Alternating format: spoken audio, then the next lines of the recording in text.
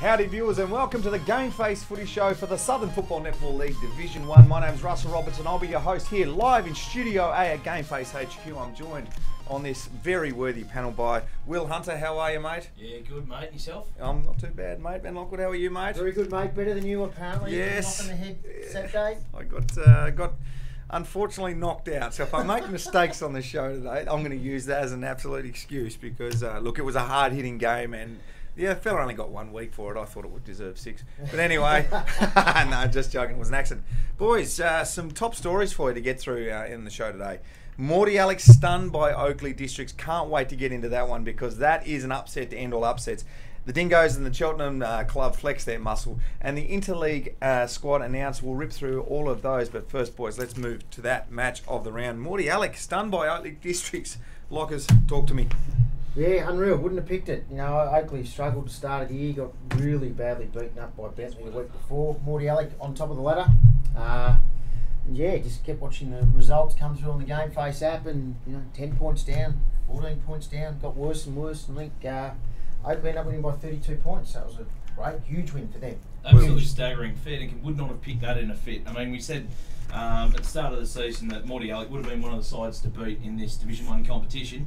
Um, Oakleigh District we tipped to finish sort of towards the other end. Yeah, absolutely. Um, and yeah, Oakleigh District kicking ten goals to two after half time to run out comfortable winners because Mordialloc they flew out the blocks. They got uh, they got the jump on them early, but fair dinkum ten goals to two after half time, and only one behind to Mordialloc in that last quarter. Um, that's that's an effort that leaves a lot to be desired, and no doubt Mick Brown would be pretty annoyed with that performance. Lockers, Might have a look at sometimes. training. Yeah, yeah, right, no doubt. Uh, they'll be running 400s, I would have Yeah, thought. absolutely. Mate, Sometimes there's mitigating circumstances, there's injuries, uh, blokes go away for weddings in Bali, you know. You hear that a lot with local football. Was there any of that sort of stuff going down? Look, they had a couple out. I wouldn't say they were decimated by any stretch. No. Alec. They, they had basically a full complement. I know Danny Nichols, ex-Collingwood player, played in the twos, but he actually hasn't played all year. So you can't say he, they were missing him. He just wasn't available. Um, I'd say he'll be back in this week though, no matter what. But yeah, training on uh, Tuesday night will definitely be interesting. From what I understand, it was more a case of just a lack of lack of effort, lack of intensity, and a lack of discipline. So um, hard to really coach that. It, it is sometimes like that, and you look at. I know, I go to the AFL because we all see that. And the Melbourne Football Club, you look like they're inside their own heads at the moment, and that can happen absolutely everywhere. You, you, you'd imagine that Morty is sort of going after half time. Oh, we can't wrestle this back. What's going on? Oakleigh grew another leg. It must have been that sort of stuff going on. Yeah, there. It's a mental game. hundred percent it is, hundred percent. You know, and Oakleigh had Jake Mullen played his first game of the year, and look, he's an important player. He's a fantastic player, but it's only one player. So, yeah, back to the drawing board for Morty. They'll bounce back. No doubt. Now we'll move on now to the match of the day. That we we were saying that was the match of the day. It was the upset of probably the year so far. But this indeed was the match of the day. East Malvern defeating the Port Colts 18-7, 115 to 12, 11, 83. Boys, uh, review it for me, would you? You were down there on Yeah, I that went, day, Lockers. I went and had a look. East Malvern opened their new rooms, uh, fairly palatial too, I might add. But um, yeah, good game of footy. You know, thirty goals kicked in a, a game in the parks, pretty good, good standard. Um, East Malvern's skills were really impressive by foot, and uh, I actually listened to Lindsay Gilbee at quarter time, and he was quite happy with Port Colts' opportunities they were getting forward. Uh, they probably didn't make the most of them. You know, twelve goals, eleven. They were a little bit inaccurate, but it was really his his room for improvement. He was really focusing on was making sure Port defended a little bit better, especially those little short forty fives. And yeah, East Malvern were, were pretty impressive. Um, they needed it though. That was that was zipping too. The pressure was going to come if they didn't win. So yeah, good result. Probably um, scores probably flattered Port Colts a little bit in the end. They kicked a couple goals really late. Um, I think they kicked four of the last five goals to, to sort of make the scoreboard look a little bit more respectable. But yeah, um, good game footy. If I can recall, I think Dalla Libera, the big ruckman from Port Colts, missed through suspension. He had a Uh, rest. And uh, yeah, Chris Carey um, just dominated in his absence, didn't he? Chris Carey probably had 80 hit outs for the day. Absolutely dominated. Uh, took marks around the ground. Really, he looked switched on. Um, apparently, the week before against St Kilda City wasn't one of his better efforts. He's the premier big man in the competition, and, and definitely on Saturday he proved, you know, undoubtedly that he's still going to be a, a man mountain and tough to beat throughout the year. How important is a ruckman to a team? I mean, you, it's got to be said. As much as we like to take the mick out of a ruckman, doesn't play on anyone, can do whatever they want out there, but if giving first use at the stoppage, Yeah. They are worth their weight in gold. And if you were a smart man, you'd put together a bit of a ruckman academy and have them all signed up as a manager from the start, wouldn't you? Exactly right. You go back to the AFL last year and you have a look at guys like uh, Maxi Gawn and Yeah. Brodie Grundy and the impact they have both in the air and around the ground, Yeah. they're, they're, they're vital. Yeah, Absolutely. Port, Port Colts actually rode to Chris Carey fairly well. Um, Chris DeLuca actually started reading off the hand, which is good for me for Interleague in a few weeks. Yes. Chris might find his way in there, but um, yeah, they, they were still okay. They pretty broke even at stoppages, Port Colts. It was just when the ball got on the outside. Certainly important to have a couple of tricks in your kit bag if you've got a dominant ruckman. If they start sharking taps, be able to do that. Sounds like that was the case. Some other results for you. Cheltenham uh, defeated Bentleigh uh, 21-8, 134 to 6-4-40 on the Anzac Day clash. St Paul's defeated St Kilda uh, convincingly 94 to 49 there. And Dingley, as we said off the top of the show, flexing their veritable muscles at the moment, 114 defeating Highett only two goals, 12 24, very low scoring there. Our man Will ventured on down to Dingley to ch- chat to uh, the defender there, Kristen Fan. Let's check out that interview now. Alrighty, guys. So an impressive 90 point win to the Dingoes over Highett this afternoon, and I'm joined by uh, one of the stars of this Dingoes side, Kristen Feen. Pup, you've been in the wars, mate. What's happened? Yeah, a bit of friendly fire just in the last quarter there, but um, yeah, it's all good. Just a little cut. Should be right. No, you'll be fine. Um, how's the body pulled up otherwise? Hard fought game? Yeah, it was pretty pretty hard, but um, yeah, I'm alright. Feel alright. Besides a little cut. Mate, you blokes absolutely flying at the moment, top of the ladder, only undefeated side, and a big win here today. Um, you blokes must be in pretty good spirits, I, I would have thought. Yeah, it's a good feeling around the club at the moment. Good energy, and um, to be 3 0, it's good. Yeah, there's good buzz. How'd you get the job done here today? Kick some goals. nah, I don't know. We just stick to our structures, um, which we've been doing all year, and it's paying off. And there's a few good boys in good form, so and yeah, it's paying off. And how'd you go today? Get a few kicks? Oh, a couple, nothing special, mate. Just, just spoil. That's it. Just uh, getting it done down back? Yeah. Oh, not just me, mate. We're, we're all playing pretty good footy down there, as well as the midfielders and everyone. So it's good. So plenty of excitement with the Dingoes at the moment, as, as we said. So uh, big game coming up, East Malvern, big test for you. Yeah, it's going to be huge um, down at Dingley. So we're, we're prepping for it. We're looking forward to it. Um, yeah, hopefully get the win. Confident heading into it. Yeah, always confident, but yeah, we'll see. No, very good. Thanks for joining me, mate, and uh, best of luck for uh, next week and the rest of the year, mate. Thanks, Will. What a fantastic team the Dingley Dingoes are, Will. Great job, mate. Yeah, cheers, mate. And uh, good on uh, Pup Fan for having a chat. He copped a bit of friendly fire late in that game and come off the ground with the blood rule. There was a bit of claret everywhere, but uh, no, he was a good player on the on the day. He's certainly a player to watch in Dingley. Bloody hell, they're uh, making every post a winner. The only undefeated side left in the comp, and uh, they're flying, mate. Most important thing, mate, how did Chris Horton Milne go? He was, man. he was uh, he was pretty good. He's uh, Excellent. showing why he should have been in that uh, that top 35. 35. Yeah. Speaking of that, top players, let's move now into uh, lockers is a big deal. The interleague squad, because Southern football is pretty strong at the moment, and you've got uh, some pretty good players to choose from there, lockers. Let's start talking through this. Some key players, uh, where you'll be training, and the date. Go for it, mate. Right, game 18th of May. Uh, unfortunately, playing away again, Romsey. So that's okay. We'll get in the bus and go up there. I got a bus trip last year, like Uh, yeah, that was that was probably. We'll put a segment, a whole Yeah. segment together We for could do that. that. We actually got some video of that still from last year. Hope Um, that doesn't see the light of day. we start training, uh, for your sake, Will, that's right. Uh, we start training this Wednesday. Uh, the first two Wednesday nights are um, out at Springvale. Unfortunately, uh, Moorabbin's not available until the following Tuesday, Thursday game week. So, train out Springy, great surface, so we'll, we'll get out there and, and have a look at everyone. Um, key players, it's a Division 1 guys only this year, which is, it's a little bit, it'd be great to have some Division 2 and 3 guys in. There's definitely guys good enough, as you know, Robbo, Mm. but um, they've unfortunately got to play that weekend. Key players, Danny Aids again will play a big role. Um, you know, assistant coach at Dingley, he was captain last year. Um, Chris Carey was spoken about um, the ruck. He might have his uh, partner in crime from Port Colts back from suspension with him there as well. So yeah, it'll, it'll be a pretty strong side, and, and most guys are pretty keen at this stage. So yeah, looking forward to it. How's my man Hodgie looking? Uh, Seeing he- your- seeing your I- sights? Unlike you, uh, Will, I actually put him in the squad, so he's every chance to play. This bloke throws me under the bus every Oh, opportunity he gets. Fair income. You- I'm just trying to trying to keep on side of the dingoes because uh, I don't want Shane ringing me, Shane Moore, with the coach, telling me I can't pick any of your players. So just keep on their good side. No, their we, good can't side. Have, we, we had the death of State of Origin. We can't have nah, the blokes pulling out. We need uh, our southern football uh, looking strong. And, and let's talk, speak about that. How do you reckon we're going to go against the opposition? Um, look, we've we're coming off three really successful campaigns. So um, the, the, the buy-in from players has been fantastic the last three years, and it's only getting stronger. Um, I think every guy that actually played in it last year or the previous year has put their hand up to come back. So, yeah, I think we'll acquit ourselves really well. We, we really base ourselves on our run and spread and, and speed and, and try and play exciting footy for anyone that comes to watch. So, Good on your lockers. Could We- be early. Sorry, mate. Just could be early days. But is there anyone that said they're unavailable for uh, interleague selection? I know that's been a bugbear of yours over the last Been a couple of years. bugbear. Uh, there's a couple of rumours afloat of, of guys that have all of a sudden got injured after round three, but we'll just see how we go. Don't you Uh, hate it when that happens?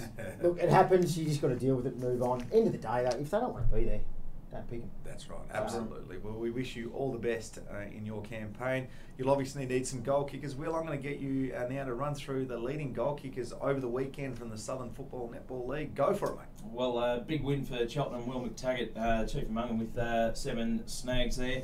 Uh, Dave Velado, Dan Farmer, four each in uh, Oakleigh and Dingley's wins there, and Sammy McGregor, Harrison Hunt, Xavier Linton, and Justin Madden with three apiece. Good stuff. Let's move now to Division One Team of the Week. You boys have poured through it. Who have you picked out for us, boys? Go for it. Backline to the interchange. Alrighty, so uh, we'll start with the back line. Nick Barry, East Malvern, John Walker, Oakleigh District, and uh, Matty, War- Ma- Matty Morwood. Struggle to get that one out in the uh, back pocket. Who Eminem. comes back in? Eminem. Eminem. Yep. Uh, half back Dan Vaughan, uh, your man. I know you're a massive fan from Cheltenham. Uh, Alex Spencer and your phone. Uh, your was my watch, mate. Yeah, my heart rate, my heart rate's going through the roof talking about these players. Exciting, exciting. I love it. Alex Spencer at uh, centre half back and Lukey Barnhorn keeps his spot on the uh, Three weeks in a row. Yeah, for Luke. He's uh, they didn't have a great day um, at the office, Mordialloc, but he's a he's a star, that's for sure. To run through the mids there, Lockers? Uh, yep, Jackson Barclay uh, on the wing, Luke Duffy in the centre. I think it's the second time we've seen him, and uh, and, Lucas Wamsley, I think, was voted the, the third best player in the comp by you, Will. Uh, played really well. Half forwards, Jimmy Zilla back from Sandringham, so he played really well. Half forward on ball. Uh, saw this guy again on Saturday, McK- uh, Mackenzie centre half forward for East Malvern, very very good. he Uh, can play that man. he can play. He's got a good set of wheels, good set of hands. Um, Harrison Hunt, very similar player actually. First uh, year back at St Paul's. Full forward line, we couldn't leave Big Will McTaggart out. He out of his seven, he actually kicked five and a quarter, I think, Wow. second quarter. Really uh, lit, lit Cheltenham Park alight. Um, Daniel Farmer was his turn, I think, with uh, Dingley. They've got a pretty good forward line, pretty potent. And uh, yeah, Dave Velado, very good skills, left footer, can kick a goal. Over to you, mate. And the uh, the big ruckman, as we spoke about, Chris Carey comes back in. Uh, was replaced last week by uh, Dalla Libera, but he's uh, stamped his authority in that game and gets back in. Uh, Danny Ades as well had a, had a great game all around the park, and uh, young Jack Carosella, the uh, coach's son down there at Oakleigh District, um, gets a gig as well. And on the interchange, Josh Ferguson had a good game. Uh, as well as Lucas Wamsley. Um, they, they look the same, the two dreadlock wingers down there. At, uh, look a little bit similar. uh, Jack Davis from Cheltenham, Nick Perry, my man there, St Kilda City, uh, young captain at 22, I think. Yeah. So fantastic, good to see him doing well. Good on you, Nick. Keep up the uh, good work there, son. And uh, Chris DeLuca from Port Melbourne Colts. Geez, he's a player, isn't he? Very good. Runs hard. Runs hard at the footy. Runs hard at the opponent. Really good player.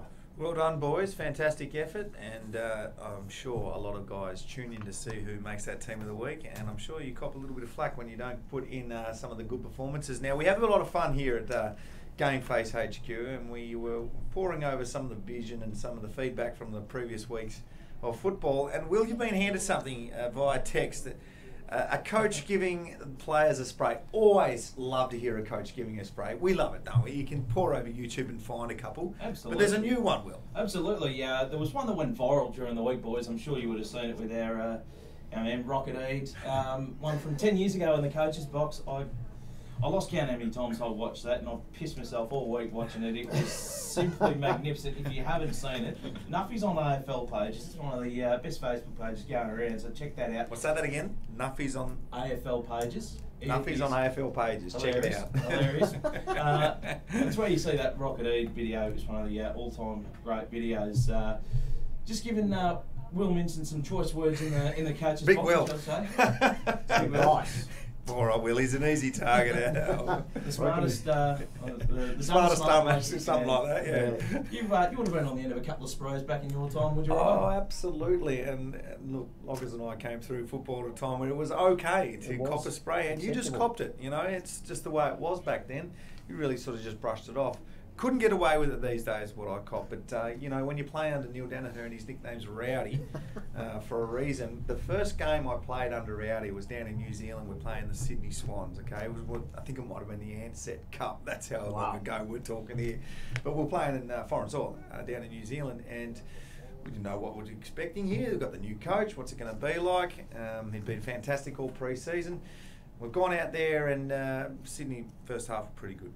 Um, we, were, we weren't far behind. We thought we were okay, but Nita and Jeff Farmer hadn't um, troubled the scorers yet.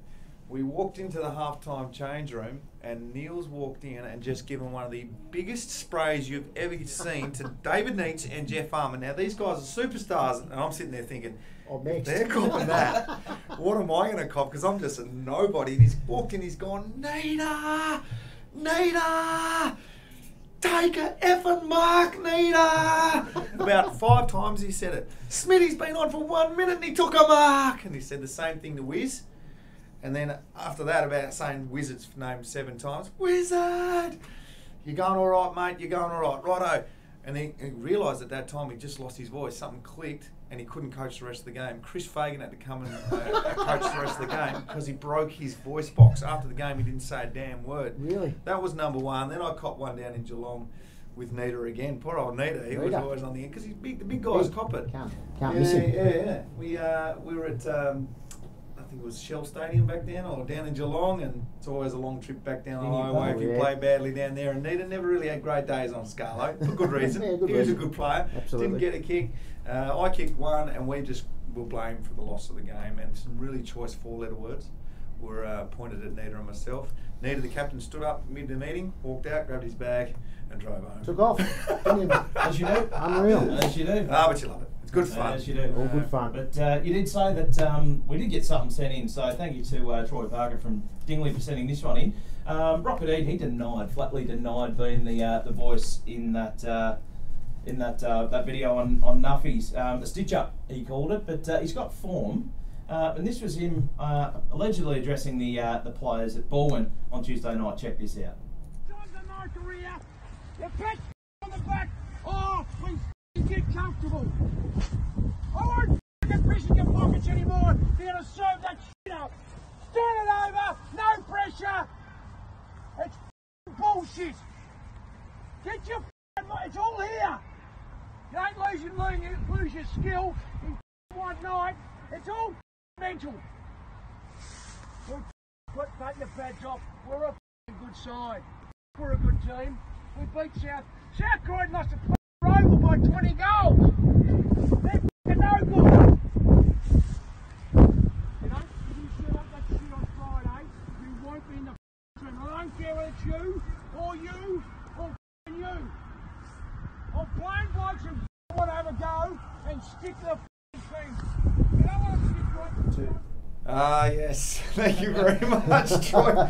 Thank you, Troy. A few beeps in there. Will, that was absolutely Not fantastic. sure where not sure where he got that one from, but uh, yeah, appreciate. Allegedly, It's, it's, there's there's some allegations. We're going to leave it alone. But tell you what, if you've got some sprays like that, you're just hiding in your phone, and you'd like it to send us, we'll proudly put it on the uh, Game Face Footy Show for you. Uh, send your best sprays on the Game Face SFNL uh, group. Let's move on to the upcoming games, boys, because we've got some football to get through.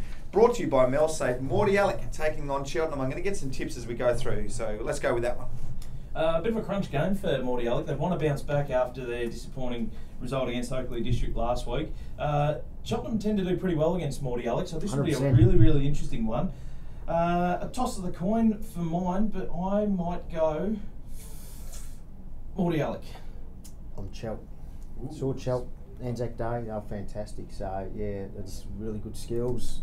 They spread the footy well, and uh, yeah, I'll, I'll go Chelt. It'll get me in trouble when I turn up to Mordialloc on Saturday, but I'll, I'll cop that on the chin. Home ground advantage is the only reason why I'm Yep. going Mordialloc, but uh, Cheltenham, there'll, there'll be a goal in it, I reckon, either way. Yeah, good game. Oh, I love it when you blokes go one for one. You choose both sides. Uh, St Kilda City versus Oakleigh Districts. Go for it. A bit of an interesting one as well, I think, Lockers. Uh, districts will be up and about after last week, but uh, St Kilda City probably too strong at home for mine. I think at home they play that ground really well. It's unique, the peanut farm, and yeah, they'll get the they'll get the money there for sure. Port Melbourne are hosting St Paul's. You would have thought St Paul's here, boys.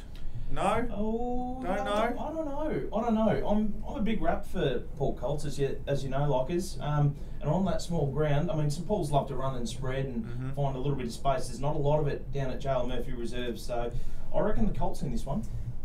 Have to agree with you, Will. On Colts as well, just that ground. It's so small and, and they've got big bodies. You know, again, I was there Saturday, saw them. They're big and strong and physical. And not saying St Paul's aren't a great side because they are. But, you know, obviously picked them for the flag, but I think at home they might be a bit strong. They uh, won the flag last year, as you said, and Port Colts finished second last. But if memory serves me correctly, St Paul's got up by one point in the corresponding fixture at JL Murphy last year. Late in the year too. Considering the uh, the difference between those two sides where they finished last year, Yep.